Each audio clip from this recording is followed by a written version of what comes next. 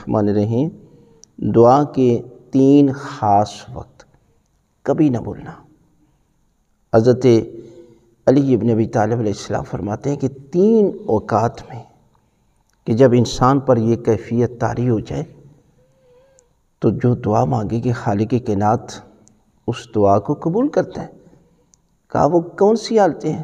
پہلی یہ حالت ہے کہ انسان کے جسم پر کب کبھی طاری ہو جائے۔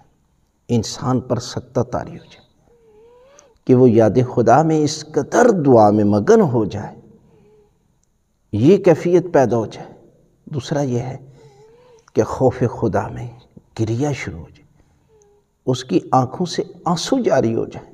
اور جب یہ کیفیت ہو، تو ان اوقات میں اس وقت کی دعا پر بتکار رد نہیں کرتا لہذا جب بھی آپ دعا کرتے ہیں تو کوشش کریں اپنی کیفیت کو اس صورت میں لے آئیں تو یقیناً پروردگار جو ہے وہ آپ کی دعاؤں کو آپ ہاتھ اٹھائیں گے خدا بند عالم آپ کی دعاؤں کو قبول کرے گا